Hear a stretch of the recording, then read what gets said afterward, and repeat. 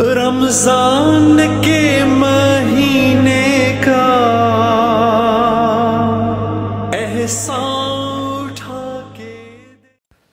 अस्सलाम वालेकुम, my YouTube family कैसे हैं आप सब? उम्मीद करती हूँ आप सब ठीक होंगे, खुश होंगे, खैरियत से होंगे, जहाँ भी होंगे, मज़े में होंगे।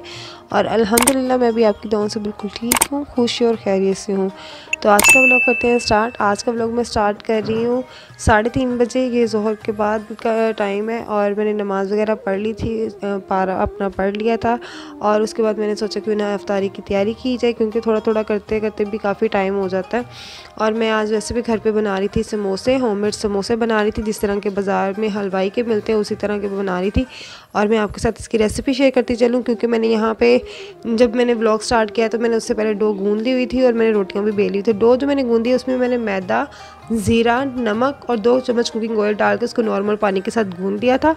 और उसको आपने ज़रा हार्ड रखना डो को ना। मैंने भी हार्ड रखा था उसको उसके बाद मैंने उसकी रोटियाँ बेली थी लंबी लंबी और और उसके बाद फिर मैंने इसकी फिलिंग तैयार की और आलू की फिलिंग मैंने इसमें फिल करके और इसको फोल्ड करके समोसे मैंने रख दिए थे।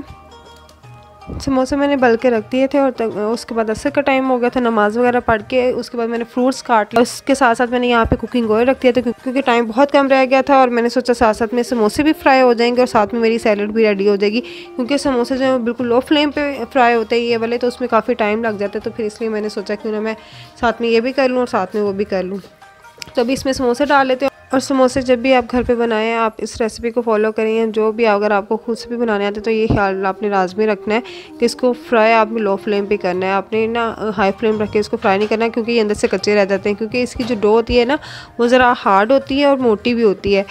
और इस, इसके अगर हम लोग दूसरे जो रेडीमेड समोसे हैं, उसकी बात करें, जो कि हम लोग पट्टियाँ रेडीमेड लेके बनाते हैं तो वो तो दो चार मिनट में अच्छे खासे समोसे जो है फ्राई हो जाते हैं, वो हाई फ्लेम पे फ्राई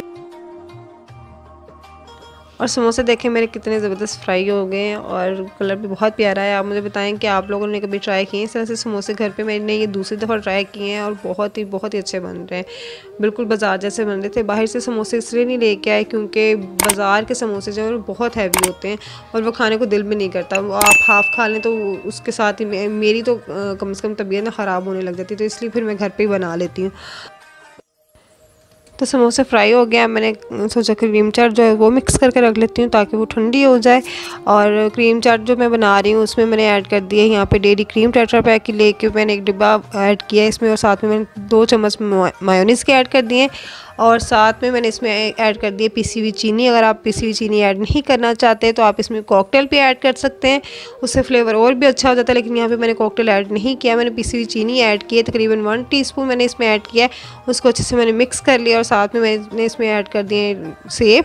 और साथ ही इसमें मैंने खजूर कटी हुई छोटी छोटी बरीक कटी हुई साथ में बनाना इसमें ऐड कर दिए। उसके बाद मैंने इसमें कटे हुए बरीक बादाम और मेवा किशमिश जिसको कहते हैं वो ऐड किया और साथ में मैंने इसमें ऐड किया है चिकन और बॉयल एग मैं क्रीम चाट इसी तरह बनाती हूँ। इसमें मैं चिकन लाजमी ऐड करती हूँ। उससे टेस्ट बहुत अच्छा आता है, बहुत ही मज़े की लगती है। और आप मुझे बताइएगा, आपने कभी इस तरह से ट्राई किया कि नहीं किया? अगर नहीं किया तो एक दफ़ा मेरे कहने पे लाजमी ट्राई कीजिएगा। इस तरह से ट्राई कीजिएगा तो आपकी भी क्रीम चाट बहुत मज़े की बनेगी और फिर मुझे बताइएगा कमेंट में कि आपको कैसा लगा। जैसे कि रमज़ान अब चल रहा है तो आप आपने रेसिपीज़ ट्राई करनी है तो ये मेरे कहने पे एक दफ़ा लाजमी ट्राई कर लीजिएगा। अब से क्रीम चाट जो है, वो रेडी होगी, उसको मैं डिश में निकाल देती हूँ और उस अब क्रीम चाट को मैंने डिश आउट कर लिया और उसके, उसको मैं रख दूँगी फ्रिज में ताकि वो अच्छे से ठंडी हो जाए और बाकी के जो समोसे रह गए वो भी मैं साथ साथ फ्राई कर लूँगी। क्योंकि वो जो मैंने पहले वाले चार समोसे डाले थे वो फ्राई करके मैंने निकाले थे और उसके बाद मैंने मज़ीद उसमें समोसे ऐड कर दिए वो भी फ्राई हो रहे हैं। और ये जी मेरी अफ्तारी तकरीबन रेडी हो गई है और पटाटो रिंग्स जो कल वाले मेरे पड़े हुए थे, मैंने उनको फ्राई किया है। कुछ मैंने फ्राई कर लिए थे, कुछ पड़े हुए थे, वो भी दोबारा फ्राई कर लिए मैंने। और आज जो हम लोगों ने शरबत बनाया है ना, उनमें टैंग बनाया है और जाम शरी बनाया और साथ में बनाई कच्ची लस्सी, क्योंकि वो मीठा मीठा पी के दो चार दिन से तो मेरा दिल नहीं कर रहा था कुछ भी ऐसा मीठा शरबत पीने को। तो मैंने कच्ची लस्सी बना ली।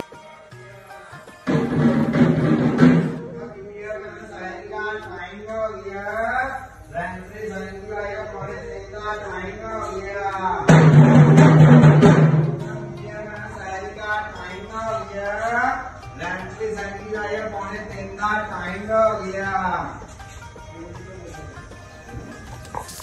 जी सैरी का टाइम हो चुका है और जैसे कि आपको पता है कि सैरी में मैं ताज़ा खाना बनाती हूँ, उठ के फ्रेश खाना बनाती हूँ तो आज कोई भी सालन या इस तरह कोई चीज़ खाने को दिल नहीं कर रहा था तो हमने सोचा क्यों ना पुलाव बना लेते हैं। तो पुलाव बना रही हूँ, मैं बहुत ही सिंपल सा पुलाव है, मैं आपको बताती चलूँ, मैंने इसमें क्या क्या ऐड कर दिया है।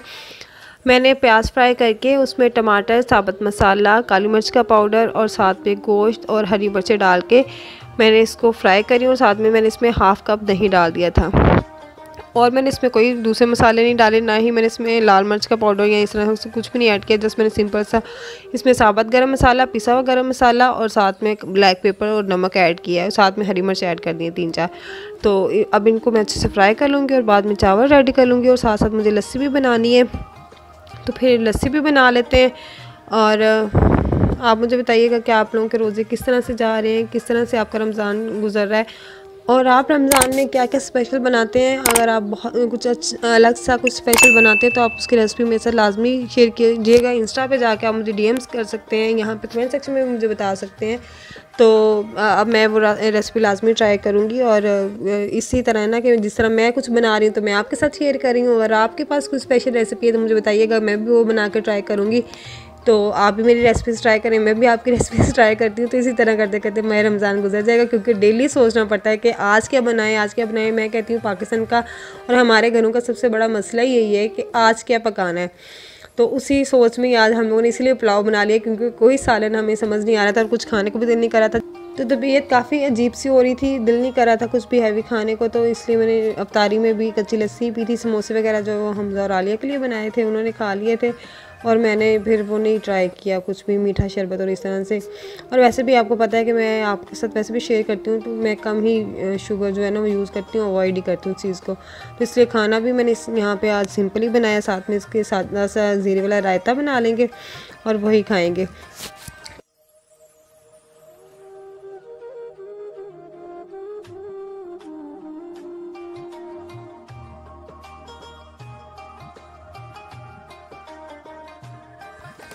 और जी, ये देखें जी, मेरा पुलाव और मुझे बताएँ ज़रा कैसा लग रहा है। मुँह में पानी आ रहा है ना आपके? मुझे तो दे बनाते हुए ही आ रहा था, लेकिन मैंने कहा मैं सबके साथ ही बैठ के खाऊँगी। तो रात को अफ्तारी के बाद मैंने कुछ खास किया नहीं था, कुछ भी ऐसा नहीं था जो मैं रिकॉर्ड करके आपके साथ शेयर करती तो डायरेक्ट इसलिए मैंने फिर सैरी की वीडियो आपके साथ शेयर कर दी। क्योंकि रमज़ान है, रोज़े रखा होता है और मैंने फिर सारी वो अफ्तारी भी बनानी होती है, घर का भी काम करना था तो उसमें मैं थक जाती हूँ, फिर वो शाम में अफ्तारी के बाद तो बिल्कुल हिम्मत नहीं होती कुछ और काम करने को। हालाँकि मैंने अपने कपड़े प्रेस करके रखने थे और मुझे वो दिल नहीं करा कि मैं उठ के कपड़े प्रेस कर लूँ तो वो भी आजकल आजकल मैं मैं करती जा रही हूँ, वो भी मैंने काम नहीं किया तो।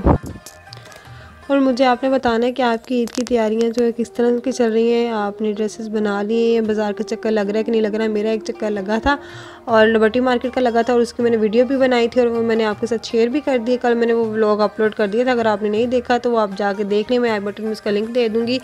तो आप जाके देखिएगा कि आपको पता चलेगा क्या नई वैरायटी आई जो लोग लाहौर में रहते हैं, उनको वो तो काफ़ी इंटरेस्टेड होंगे क्योंकि आगे ईद है और रमज़ान में भी आपने बाज़ार का चक्कर लगाना ही लगाना है तो आप वहाँ से देख लीजिएगा क्या क्या वैरायटी आई है। मैं आप लोगों के लिए वो वीडियो बना के लाई थी कि जो अभी नहीं गए बाज़ार तो वो देख सकते हैं। तो आप लोग जो लाहौर में रहने वाले लोग हैं ना, उनके लिए वो होगी इंटरेस्टिंग जो बाहर के हैं, जो अभी रमज़ान में नहीं आ सकते क्योंकि लॉकडाउन है तो उनके लिए तो नहीं लेकिन आप लोगों के लिए आप जाकर लाजमी देखिएगा वो वीडियो तो पुलाव मेरा रेडी हो गया उसको और हाँ इसमें मैंने येलो फ़ूड कलर डाला, आपने देखा भी है। मुझे बहुत अच्छा लगता है। वैसे तो हम यूजली जो है वो बिरयानी में ही डालते हैं, इस तरह का कलर पुलाव में नहीं डालते। लेकिन आज मेरा दिल किया तो मैंने सोचा क्यों ना मैं पुलाव में भी वो येलो फ़ूड कलर डालूँ तो वो बहुत अच्छा ना ज़रा लुक आ जाती है, बिरयानी वाली फीलिंग आ जाती है। अब मैं अपनी प्लेट बना लूँगी और मैं कर लूँगी सैरी। मैंने लास्ट भी सैरी वाले व्लॉग में आपको कहा था कि सैरी जो है ना, आप आधा घंटा पहले अपनी फ़िनिश कर लिया करिए अजान से ना। मैं भी इसी तरह करती हूँ और जितना हो सकता है आप उस टाइम में पानी पिया करें, क्योंकि आपने सारा दिन पानी नहीं पीना होता और आपको पानी की, आपकी बॉडी में काफ़ी कमी हो जाती है डिहाइड्रेशन हो जाती है तो आप इसका ख्याल रखें और पानी लाजमी ज़्यादा से ज़्यादा पिया करें और सैरी पहले कर लिया करें। मैं भी इसी तरह करती हूँ।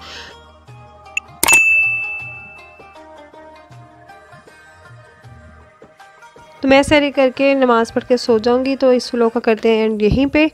और मिलते हैं फिर नेक्स्ट व्लॉग पे। अपना बहुत सारा ख्याल रखिएगा, मुझे दुआ में याद रखिएगा। अल्लाह हाफिज़।